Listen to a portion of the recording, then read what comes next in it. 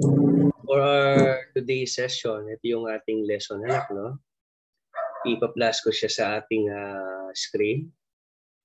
So yung aaralin natin is actually all about reading of measurements using a ruler. So ang concentration muna natin in this session is under ng English system. At dahil ruler yan, actually may dalawang parts ang ruler pagdating sa measurement. Yung nasa bandang ibaba is the metric system while the other one is the English system. Sa English system, ang unit na ating ginagamit is actually inches.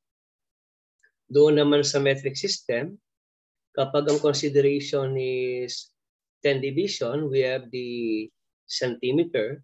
But if tigi isang guhit lang, we have the millimeter as a unit doon sa bawat guhit ng ating foot rule o tinatawag nating ruler. Now, for the continuation ng ating uh, measurement discussion, we have to define first the meaning. We have to give meaning first for the word ruler or foot rule. Actually, ito yung sample natin ng figure ng ruler. So yung binigay kong halimbawa, meron siyang uh, capacity na 6 inches. Pagdating sa English system, ito yung nasa taas. Yung nasa baba naman is meron siyang uh, total measurement of 15 centimeters. Pagdating sa centimeter o sa metric system, Nawain yung uh, example natin ng ruler, no? Kinuha ko sa net yan, yung dalawang yan. So yun ang uh, alimbawa natin ng aparatus na tinatawag nating ruler. So may dalawang function yan. Yung isa is panukat ng mga object gamit ang English system. Yung isa naman is metric system. So ang concentration natin for today is all about the English system. So I will teach you how to use the ruler and how to read measurements using a ruler into different ways or different forms ng mga fraction na may encounter natin. By the way, may tatlong klase tayong fraction anak. No? Yung proper fraction, ito yung mas maliit ang numerator kaysa sa denominator. And the second one ay ang tinatawag naman nating improper fraction kung saan ay mas mataas ang value ng numerator kaysa sa denominator. The third one, we have the mixed fraction. Mixed, uh, mixed fraction is actually comprising of three parts. The whole number, the numerator, and the denominator. Halimbawa, 4 and 1 part. Na 4 and 1 part. 5 and 1 up. Yung 5 doon is actually a full number. And then yung 1 is the numerator And then 2 is actually the denominator. Kung 4 and 1 half yung ating given na mixed fraction. Pero ano nga ba ang ibig sabihin ng ruler?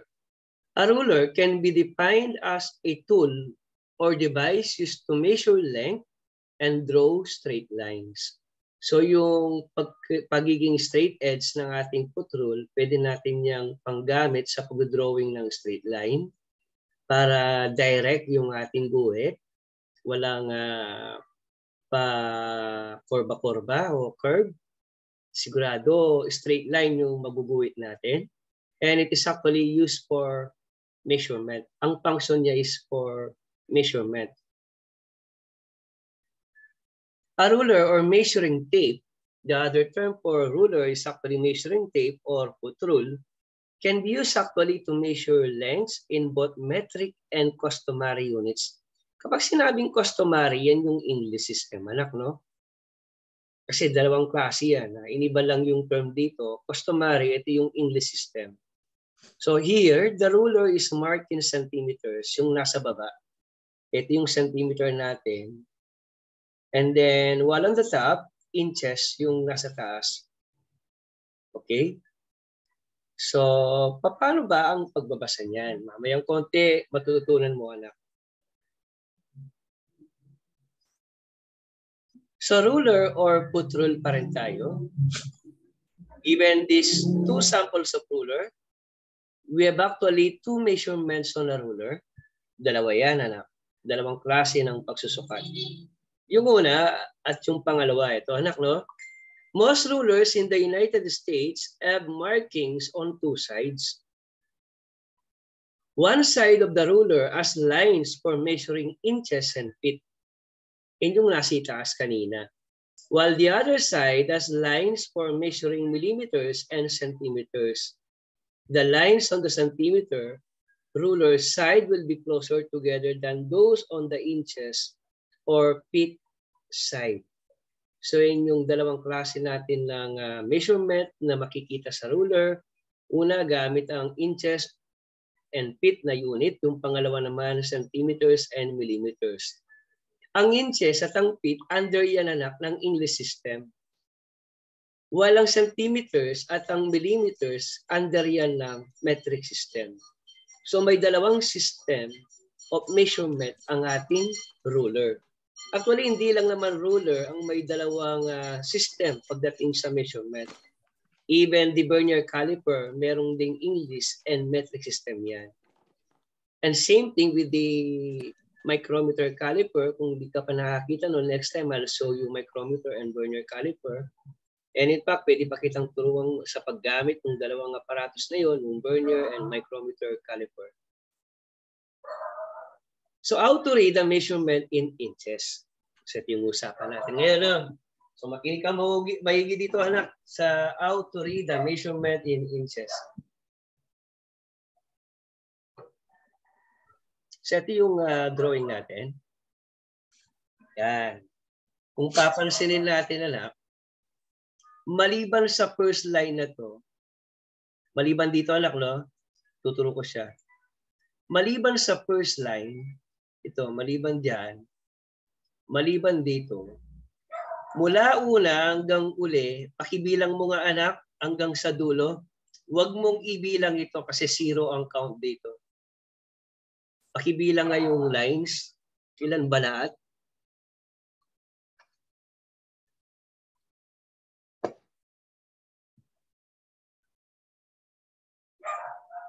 Fifteen ba po? Bilangin mo ulit, anak.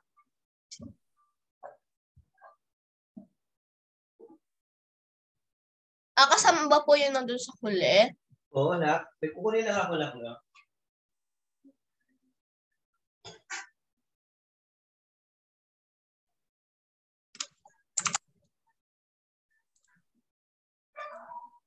Okay, nabilang mo na ba? 16 ba po, sir? Yes. 16 lines yan, anak.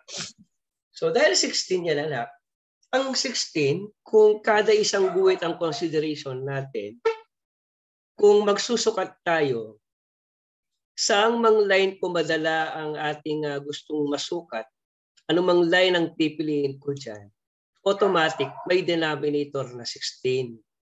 Kuha ba? Kuha ba? So yung 16, dahil 16 divisions siya, or 16 lines, sa ang line ko man may tapat, ang sukat natin, automatic, isa fraction na may denominator na 16. So alimbawa anak, no, bibilangin ko. Kung alimbawa nagsukat ako, eto kunwari yung sinukatan ko, ganito siya kahaba.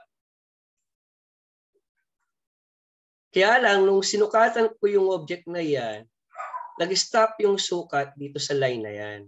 So, bibilangin ko mula dito hanggang doon. Anak, no? 0, 1, 2, 3, 4, 5, 6. Nakailang guhit ako, di ba't anim? Apa. Okay. So, ang sukat ng edge na yan, ng object na yan, ang numerator ko 6. Ang denominator ko 16. Kasi nga nung binilang natin yung mga lines mula sa umpisa hanggang sa dulo, we have 16 divisions or 16 lines all in all. Kuha ba anak? Hindi kasama Apa. yung nagsimula tayo anak no? So 1, 2, 3, 4, 5, 6, 7, 8, 9, 10, 11, 12, 13, 14, 15, 16. Kuha ba anak? Okay, so continue natin. Buburahin ko lang yung mga nakasulat anak no. Uh, tatanungin kita kunwari ngayon para lang uh, mas maigi na maintindihan mo. Halimbawa, Ito yung tinuro kong point, anak.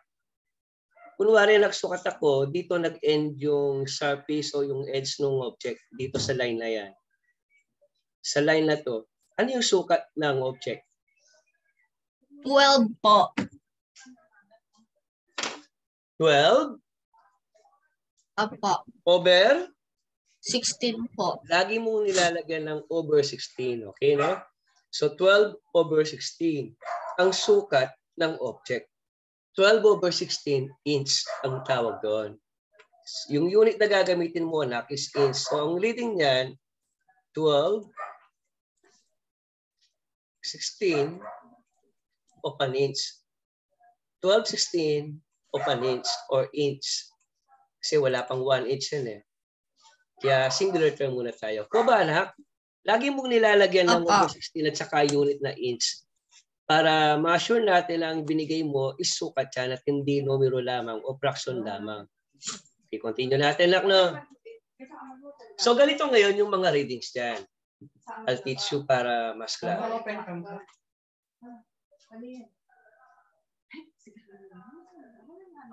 Ngayong araw. Okay, so continue. Ba yung araw? Ayun. Okay. At yung zero reading, so sa isang guhit na yan, ang reading dyan, 1 over 16, kung dito na tapat. Kung dito naman anak sa pangalawa, 2 over 16, sa pangatlo is 3 over 16, 4, 16, 5, 16, 6, 16, 7, 16, hanggang mamit natin yung kalahati, 8 over 16, 9 over 16, 10 over 16, 11 over 16. Dinitalya ko na anak para klaro. 12 over 16, 13 over 16, 14 over 16, 15 over 16, 16 over 16. Kuha ba anak? Opo. Eh, paano kapag kinontinue ko yan, anak, no? Lagyan ko pa ng karugtong yan. Halimbawa, eto, kinontinue ko yan. Naglagay pa ako dito ng guhit. Anong reading mo dyan, anak? 1 ba po? Hindi, lampas na yan eh. Anong reading mo dito sa line na yan, anak? Hindi ba kada isang guhit may over 16? Ilan ito? 16 over 16. Ano bang kasunod ng 16 kapag nagbilang ka? 17 po. So 17 over 16 ang sukat niya, anak. No? 17 over 16 yung sukat. Kuha ba? Okay po. What if kung dinugtungan ko pa ng isa, ano yung magiging reading? 18 over 16 po. Yes, ganun lang siya kasimple anak.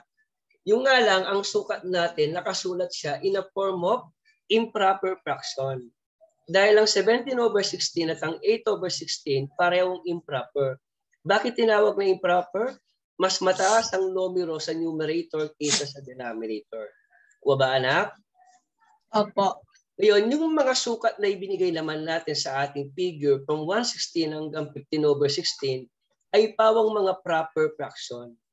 Kasi yung taas nila, yung numerator nila, puro mabababa kaysa sa denominator na 16.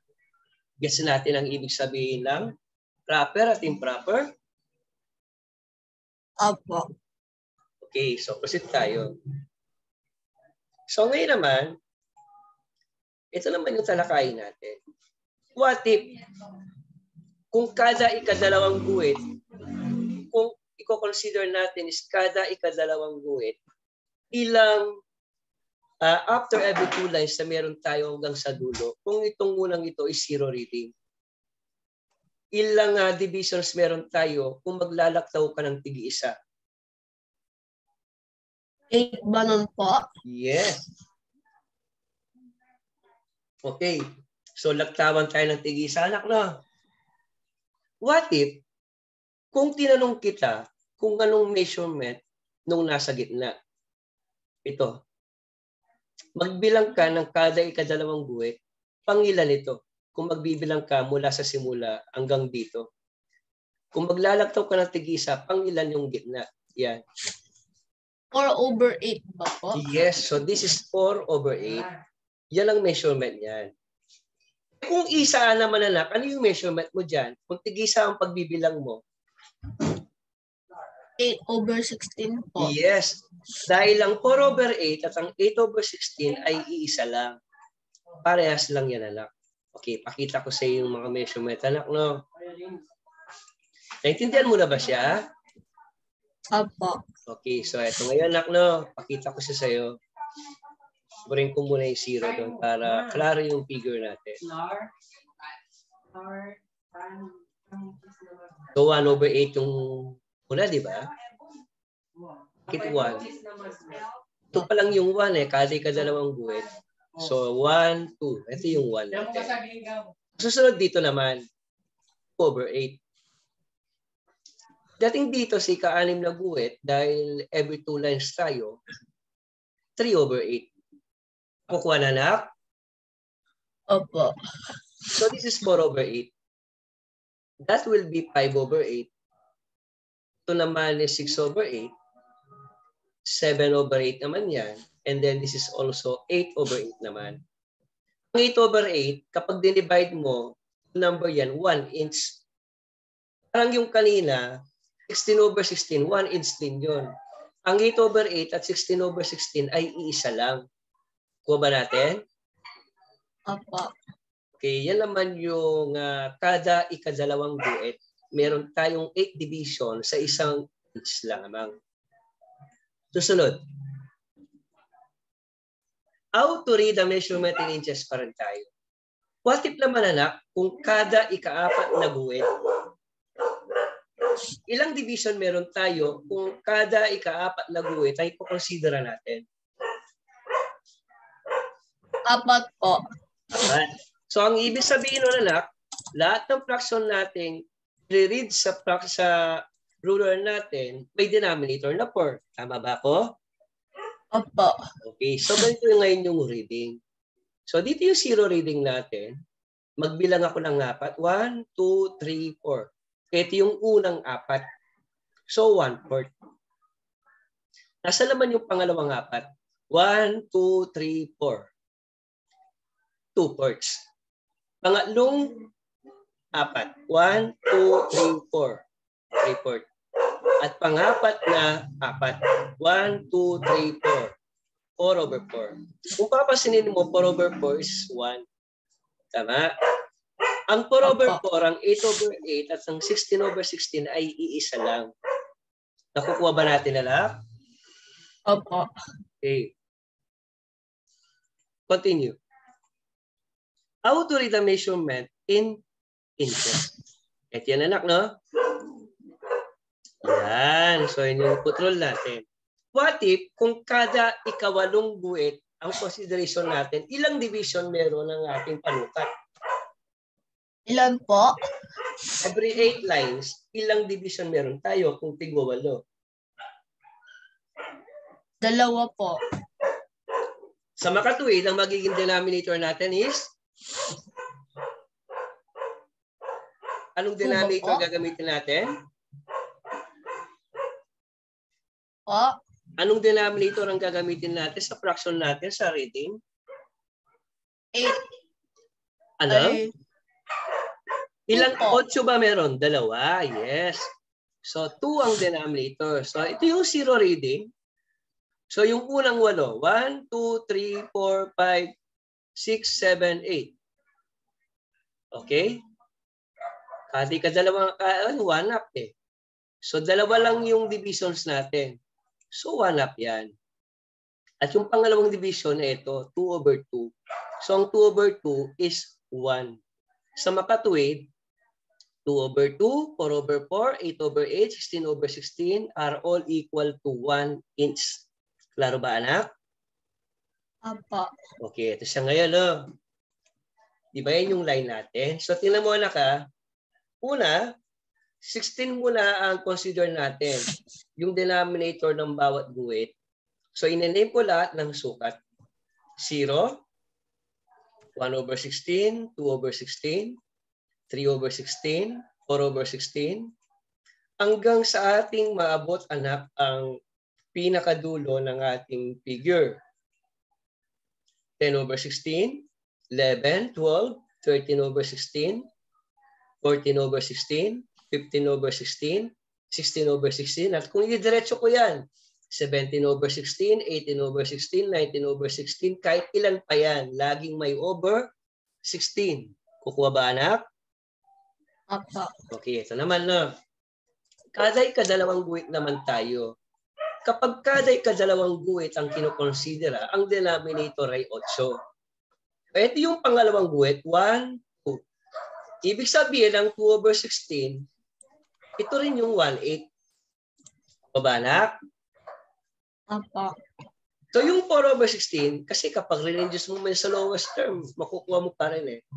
Another two lines, 1, 2. Ito yung pangalawang 8 o 2, 8. Ito naman yung 3, 8. Uh, 1, 2 ulit. 1, 2. 3 over 8. Another 1, 2. 1, 2. 4 over 8. This will be, ano kasunod?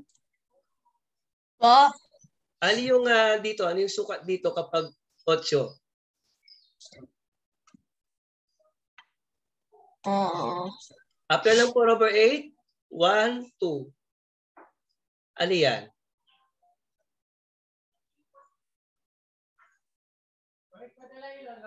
Pangilang dos na yan, anak? Di ba kada ka dalawang guhit? Apo. O ano ito ngayon? Yung nakaturo ako. 10 ba po? O yung may 10 over 16, ano yung ibang sukat niyan? Ibang form. Kapag, ilan po yung number? Di ba? Eh, ano po yung number? Gusto ko anak, no? Tingnan mo anak, no?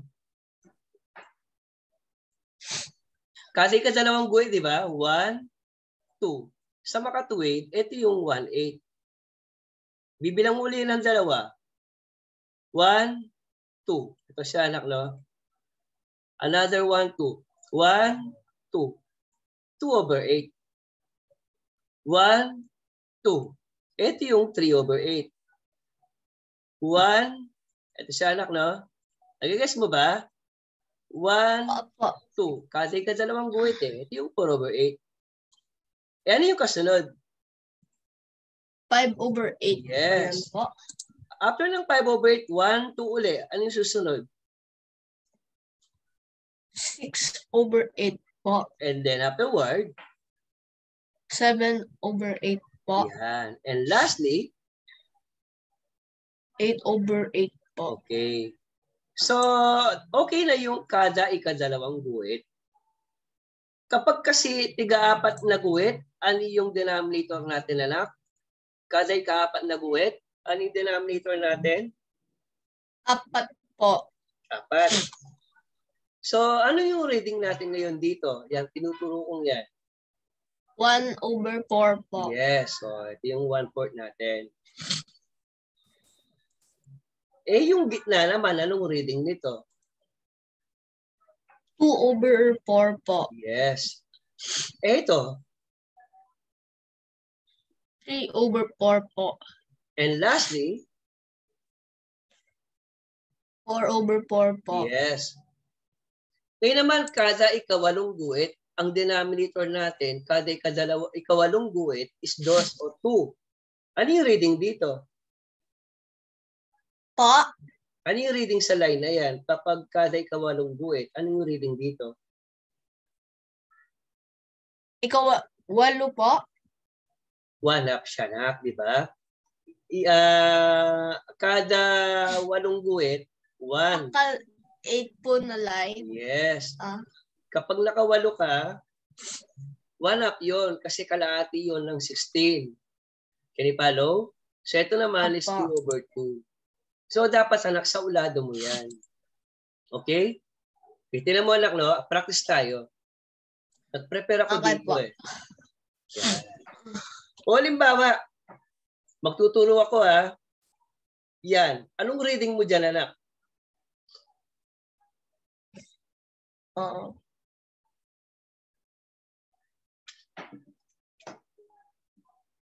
Wait po.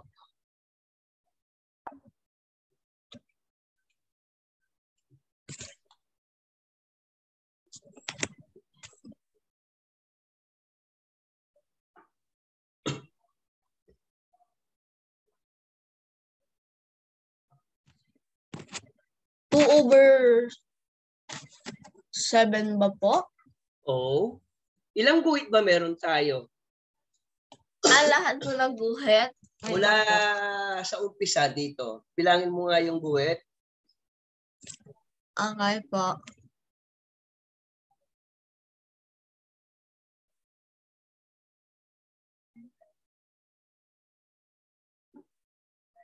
Twenty po. Oh.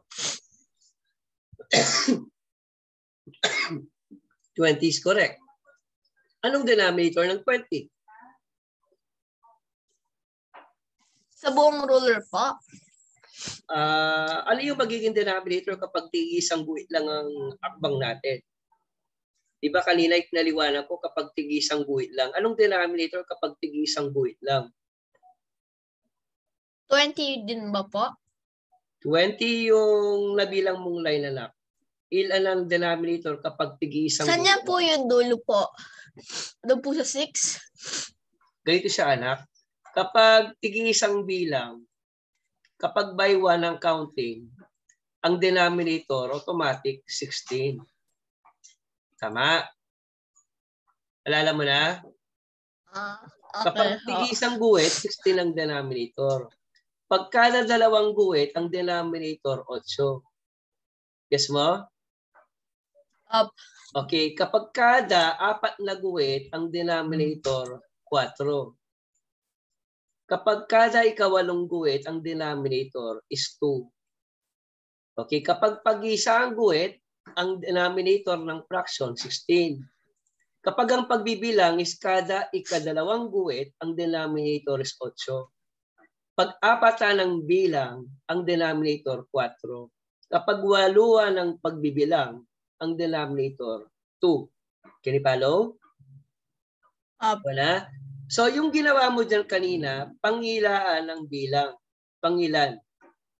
Tigilan ng pagbibilang. Di ba by one? Up po. Anong nabilang mo? Twenty po. Anong magiging denominator ng 20? Sixteen po. So, anong tawag mo doon? Anong reading mo na?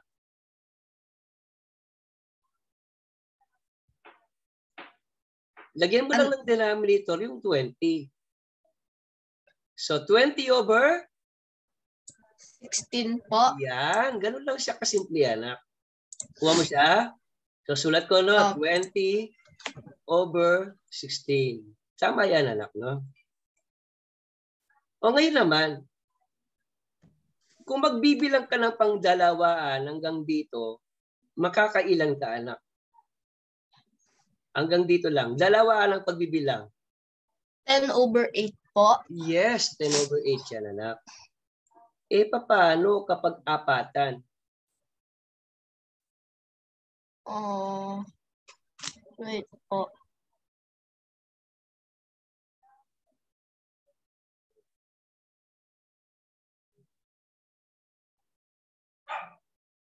Lima po. O ilang Five apat? over four po. Yes, very good. So mga reading yan anak, kung tingnan mo yung calculator mo, kapag pinindot mo ito anak, ang lilitaw ito. Diba? Kasi yung tatlong yan, equal lang yung tatlong yan. Lahat ng readings natin, naka-improper fraction. Tawag dyan, improper. Kuha mo ba anak? Improper fraction lahat yung mga yan. Now, maliban sa mga sagot na yan, anak, no? Meron pang ibang paraan. Kunwari, no? Nakikita mo yung number? One inch na, di ba?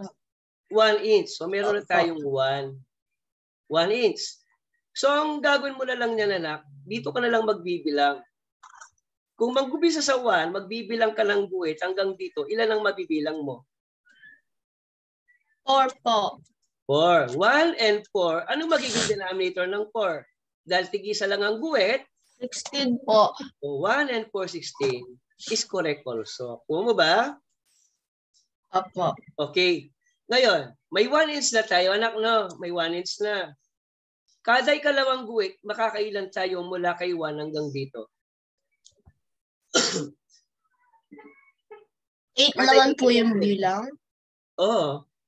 Mag-umpisa ka sa 1. Ito yung magiging Dalawa po. dalawa.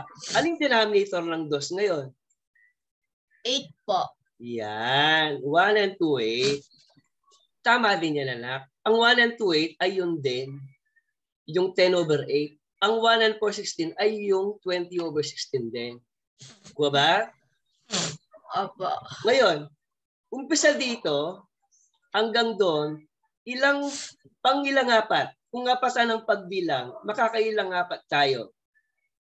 1 po. Isa lang So, po. Ano magiging denominator ng 1? Apat po. Yes, so we have 1 and 1 fourth. Kuha mo na? Opo. Ang 1 and 1 fourth ay ang 5 over 4 din, anak. Bakit? No, tinan mo, anak, no? 1 and 1 fourth. 1 and 1 fourth is actually a mixed fraction. Pwede ko i-convert yan sa improper. Kapag kinonvert ko yan sa improper, automatic, kukopyahin ko yung 4 sa baba. Ayan, anak, no? tinan mo. Kukopyahin ko yung 4 sa baba, no? From Ah. mix, convert, convert ko ng ganito. Ganito ang pagko-convert. 4 times 1 is 4. 4 plus 1 is 5. So makatuwid, magkamukha lang ang 1 and 1 fourth at saka 5 over 4. Kuha ba natin? Opo. Okay pa. Kaya no, ito pa yung pangalawa, buburay ko lang lahat ng mga nakasulat since recorded naman yan. Okay, burayin ko muna yung mga nakasulat, no? So ito, mauulit yung pagkakasulat ng mga yan. Ito actually sila eh. Gusto ko lang talaga maasa ka sa pagbabasa ng kutrun. Ito no. 1 and 4, 16, di ba? Kanina, sabi natin.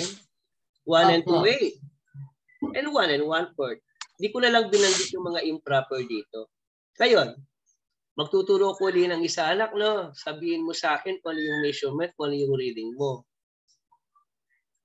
What if kung ito naman ngayon ang aking ituro? Iyan, okay. Anong reading mo dyan, anak? Sige, gagay kita. Huwag kang matakot magkamali. Saan po galing? Sa 1 sa 1 inch ba po? Sa 2 inch? Sa 2 inch na anak, Ah, okay po. ano yung reading mo dyan? Sige, lahat ng reading mo, sabihin mo lang. Sabihin ko kung tama. 11 over 16 ba po? Ano? 2 and 11 over 16 po. 2 and? 11 over 16 po. Nagbilang ka ba, anak? Wait po, dilan ko po. Huwag mong isama yung, yung mismong malaking line, no? Ah, 10 lang po. Kasi dito mo bisa. Anong reading mo? 10 over 16 po. Hindi, yung buo, buo, anak, buo. Ay, buo. Wait. Um, Kasama yung whole number, di ba? 2 and 10 over 16 po. Okay. So, 2 and 10 over 16. Ang sagot mo lang, no, boring ko lang. Ayusin ko lang yung pagsusulat ko. So, 2 and 10, 16. Yan yung unang reading mo. Very good. O, another Apa. reading. Same line. Ano iba ibang reading mo dyan? Ah, Eh, paano kung pangdalawaan ng buwet? Anong reading mo dyan? 2 and 5 over 8 po. Okay.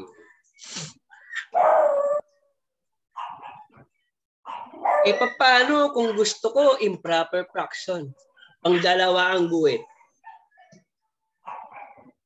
Okay, simula ka dito. Hanggang dito, anak. Kung pang dalawa ang guwit, gusto ko improper, walang whole number, no? Pang ilan yan? Ilang 8 mabubuo natin? Ilang ah, over 8? Pang dalawa ang. Wait po. 21 mo po. 21 over? 8 po. Very good. Tama. Okay, next. Eh, paano naman kung pang-isa ang guhit ang gusto ko? Improper po. Yes, improper. Pang-isa ang guhit lang. Wait po.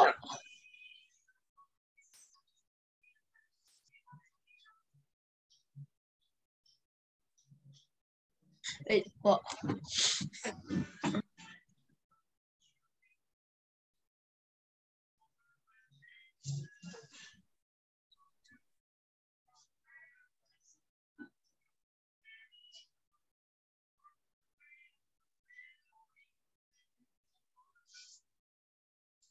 Forty-two over sixteen ba po? Very good.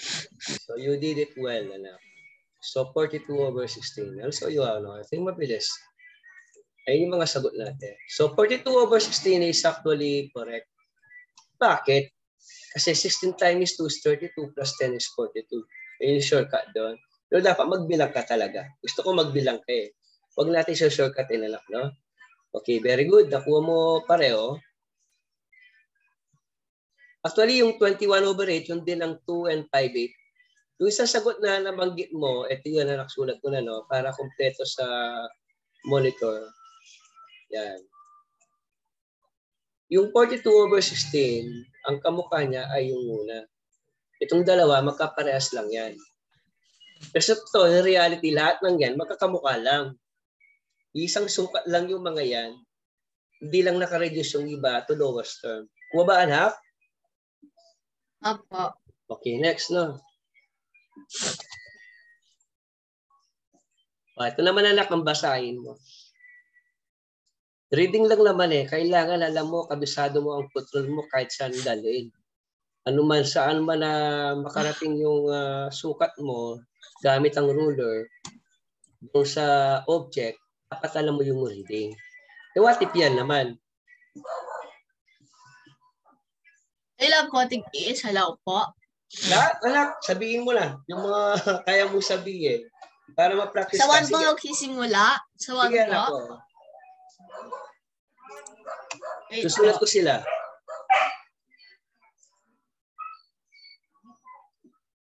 Eight over sixteen po. Ay, one and eight over sixteen po. So, 1, 8 over 16. O, maliban dyan, ano pa? One and four over eight po. po. Okay. Okay, tama. Sige, anak. Sige pa. Ah, wait po. One and two over four po. Okay, galing ah. Okay, next. Isa pa. Meron pa yan. One lang yan. and one one over two po. Okay. Ano pa? Eh, improper naman ngayon. Improper po. Okay Yes, po. improper naman.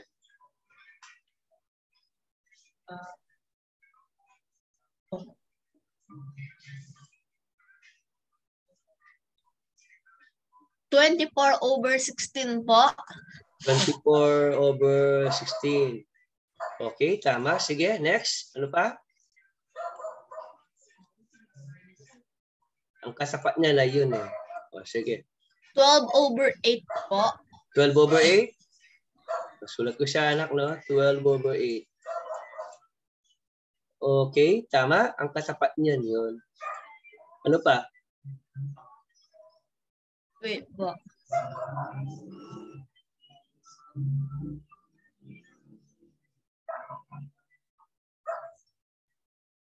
Six over four po. Okay. Tama. Ang kasapat niyan ay ito. O, sige pa anak. Ah. wait po. Outside. Outside. Outside. Wait lang po. Kaya yan, kaya yan. Anak.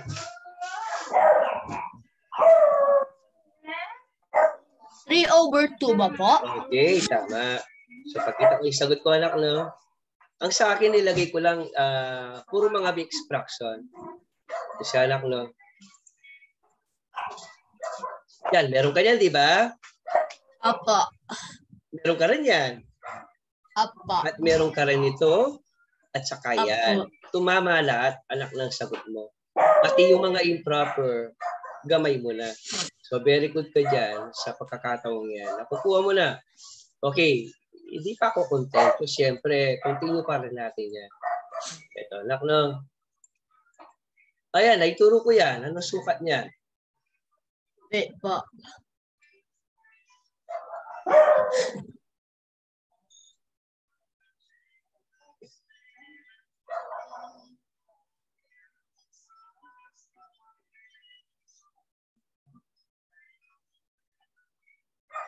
Twelve, two and twelve over sixteen ba po? 2 and 12 over 16. Titignan ko siya kung tama, anak, no? Okay. Sige, tama siya, anak. Okay, next. Kung 8 naman ang denominator.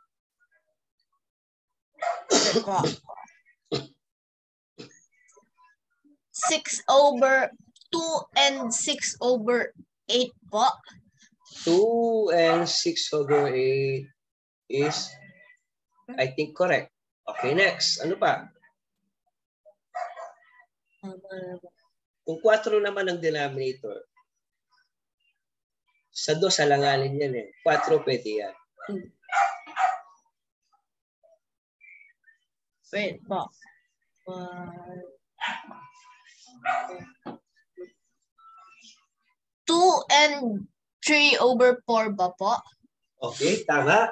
Eh pag dos, tingnan mo nga kung pwede sa dos. Magbilang ka nga ng uh, waluan kung pwede sa dos yan. O hindi pwede. Tingnan mo muna kung sakto yung guhit. Pag di sakto, ibig sabihin, di siya applicable. Hindi po siya. Okay, okay. O ano naman yung, yung mga improper? Kasi anak, Ah. baka balik na rin yung given eh. Kailangan alam mo pa rin. Okay po.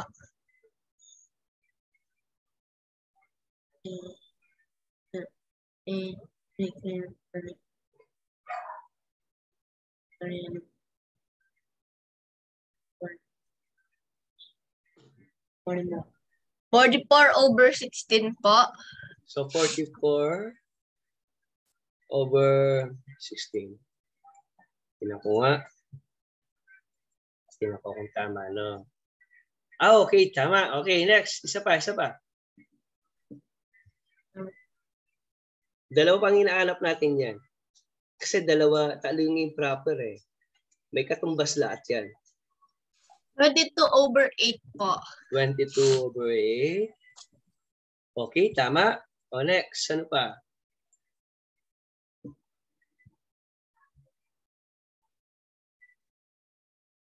Eleven over four po. Okay, you're doing great, anak. Very good. Kuha mo lahat ng sukat ng tinuro kong line sa ruler. Ayun, ah, ay mga sagot mo, anak. Tama lahat yan. Ibig sabihin, you're learning faster. Okay, we proceed to the next slide. Magtuturo ako, sukatin mo, anak, no? Iyan, o, ano naman yan?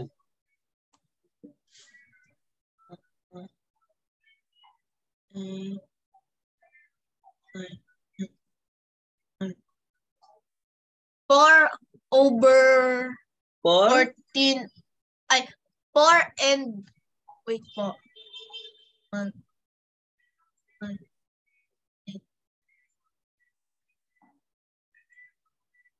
Four and fourteen over sixteen po. Sulat ko siya, no? 4, 14, 16. Okay, I guess tama siya. Okay, next.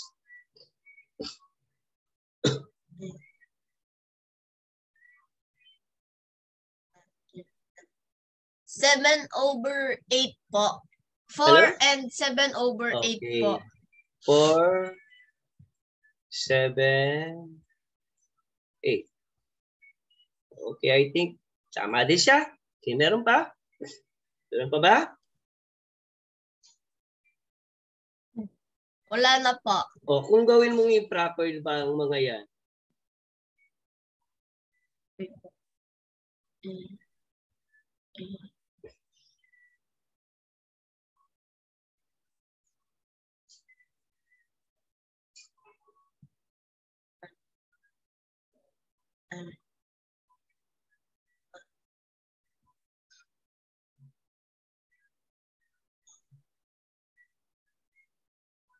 Mm. Mm.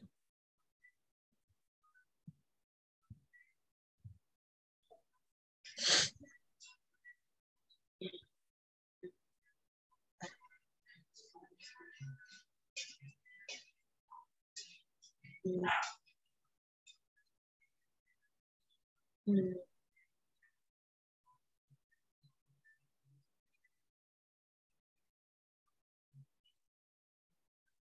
Wait po. Kaya yan. Five. Kailangan maasa ka talaga sa ganyan. Kahit anong gawin pang babaliktad ng given, ang tanong, kayang-kaya mo anak. 78 over 16 ba Okay po? lang, kuha mo. Very good. Kuha mo siya. 78 over 16 na. Diskarte ah. Kuha mo sa diskarte. Okay, how about yung isa naman? Enjoy mo lang yung ginagawa natin. Bagay ano ka dyan. Matututo ka ng gusto.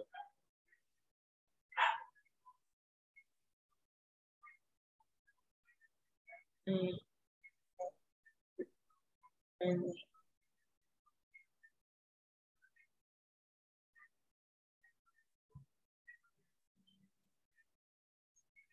Thirty-nine over eighteen, ay eight ba po? Okay, tama. 39 over 8. Very good, anak. Ang katapat niyan, ito. Ang katapat ng 78 over 16 ay yun din yun. Okay? Parehas lang yung mga yan. In reality, yung apat na yan, iisang sukat lang yung mga yan, anak, no? At yan yung mga sagot mo na mong tama. Very good. What if kung magturo ako uli? Tingnan ko lang kung pag di ka talaga natuto dyan, anak ko, di ba? Kaya anong sukat dyan? Napakadali. 3 and 1 over 16 po. Okay, very good. So, sulat ko dito, anak, no? O, wala nang iba niyan, di ba? Eh, ano naman yung improper Apo. niyan? Anong improper nito? Improper fraction na sukat.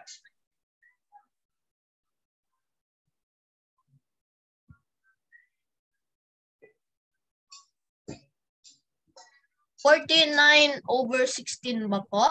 49 over 16. Okay, I think it's correct. Very good, anak. So, tinan ko nga yung sagot ko. Parehas tayo. Yan, okay, tama. Okay, kuwang-kuha, anak. Okay, proceed tayo. Ayan, anong sukat niyan? Five and two six over sixteen po. Kita, bumibilis ka na. Alam mo na yung sikreto eh. Ganyan lang yan, anak.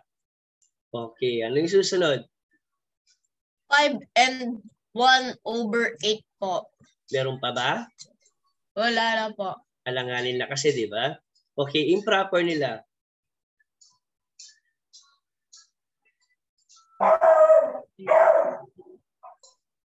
Eighty-two over sixteen po. 82 over 16.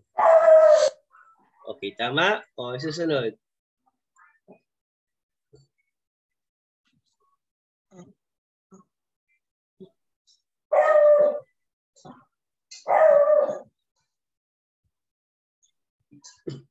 Forty-one over eight po. Tumpak lahat, anak. Very good. Na. Okay. Yan, tama yung una mong sagot kanina, no? Yung pangalawa ay tama din. Ayan ang kasunod. Anong reading niyan? One and one over sixteen po. Okay, sulat ko siya. Anong improper fraction yan? Uh.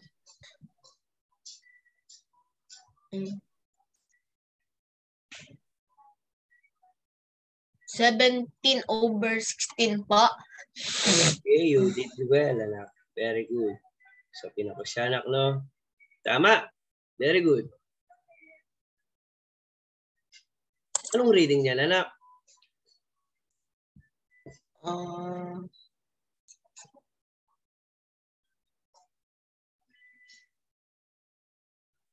wait po. Uh, one and ten over sixteen ba po? 1 and 10 over 16.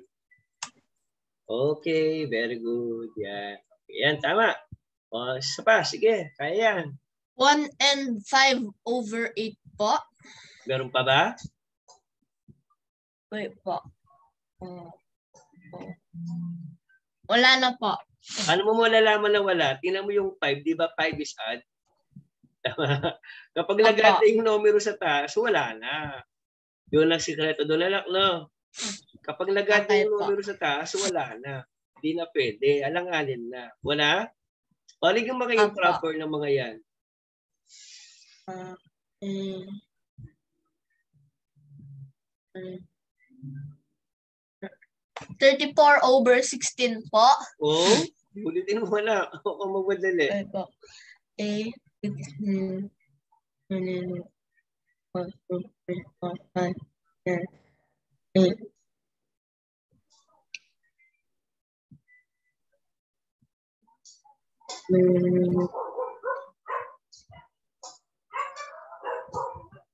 26 po. Hindi yata. Magbilang ka muna, anak. Magbilang ka. Ah, ba? Oo, madali eh. Alam mo. Alam mo.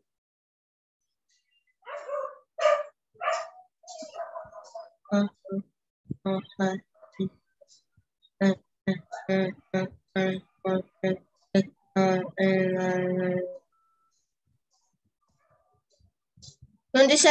26 over 16 ba po? Okay, tama. O, yung susunod.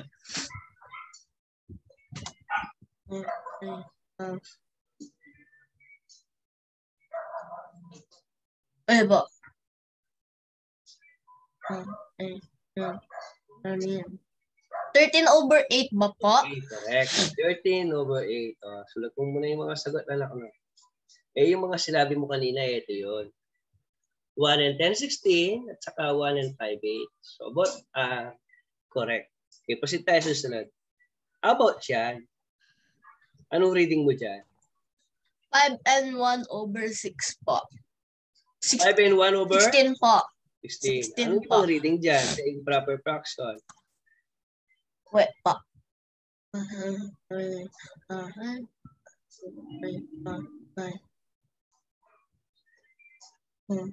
81 over 16 po.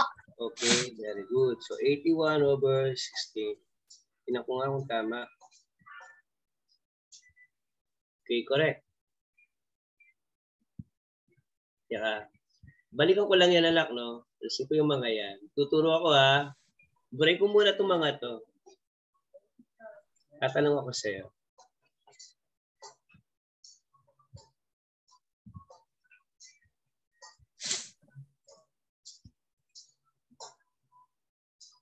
Halimbawa, anak, ito tinuro ko.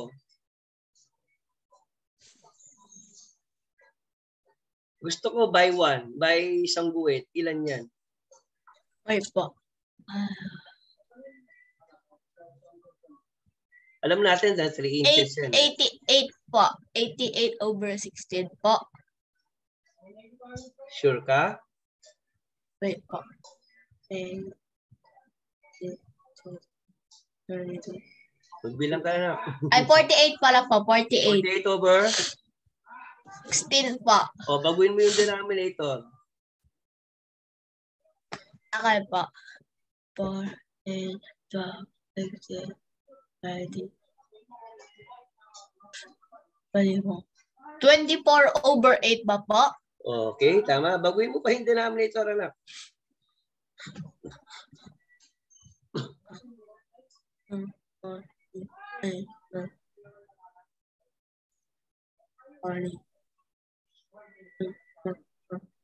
14 over, Oh, ay wait po. magbilang ka muna. 4, kaya, kaya. 10, 12. 12 over 4 po. 12 over 4. Okay, tama. Sige, mag meron pa, anak. Meron pa. Mm. 6 over 2 po. 6 over 2. Lahat ng yan, mga, lahat ng yan, anak, no? Puro equal sa 3 inches yan. Kuha ba? Kasi 40 Ah, divided by 16, 3 yan eh. 24 divided by 16, 3 din yan. 12 divided by 4, 6 over 2, 3 inches lahat yan. Yes mo, anak? Apo. Nakuha? Eh, what if ito naman ang itanong ko? Yan, yan, yan, yan, yan. Yan, anong reading dyan?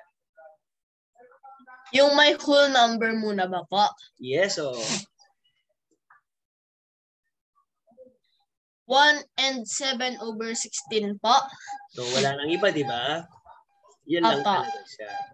Ang tamang reading dyan ay yan lang. Kuha? Ah, paano kung ito ituro ko? Titingnan ko lang yung mastery mo, anak. Yan. Ito, ito, ito. Yan. Anong reading dyan? 2 and 3 over 16 po. Yan. Bilis mo na. Ibig sabihin, okay yung ginawa natin. Ito, ito, ito. Ito, ito, ito. Ito, ito. Yan. Ano yan? Yung guhit na to, yan. 3 and 14 over 16 po. O, maliban doon, ano pa? Uh, 3 and 7 over 8 po. Okay, you're doing great, anak. So, tiwala na ako na alam mo na yung English system ng measurement. Okay? So, lahat ng lecture mo, anak, sa mathematics, ipasa mo sa akin, anak, no? Okay po. Okay, hindi lang sa science. Tomorrow, yung science natin, no? So, yung science natin tomorrow is more on biology about organism. So, we'll learn Okay through that. So, titingnan ko yung mga activities ninyo. Tutulungan kita magsabot na doon. Ah, turuan kita regarding about organisms. Nakita ko yung halimbawa na ibinigay ng teacher mo, gumamit siya ng ballpen eh. Okay? Apa. Organism din yon. Eh tayo, mga living organism naman yung human Ay. body. Okay, Sir, anak? ano? Wala na po kami sa organisms. Naka 8 over 10 po ako dun po sa quiz. O Wala na na kayo? po kami. Nasa susunod na topic na po kami. Ano yung topic niyo susunod? Wait lang po, tingnan ko. Tingnan mo anak para masubaybayan ko. Starting tomorrow. Pa, pa, pa, pa, pa, pa. Ito pong ah, plant and animal cells po. Plants and animals, Cells po. Yung cells. quarter to week 4 po. Quarter, week 4. Quarter 2, week 4. Ah, Apa, all week- about cells na tayo. So yung mga Apa. mutations, ano, ah, iba-ibang klase siguro ng cells yan. Mati-check ko naman. Ah, cells ng animals at saka ng plants. So, may kaibaan yung dalawang yan, syempre. So, tomorrow, we'll be proceeding to biology naman. Hindi na muna tayo mag-mathematics, anak, no? Okay po. Okay. I think uh, that's the end of our session for this session, anak, no? So, congrats. Alam mo na yung measurement sa English system, sa ruler. So, pwede ka lang maging engineer niyan pagdating ng araw, like your tatay. Salamat, anak. God bless you. See you tomorrow. Bye-bye po.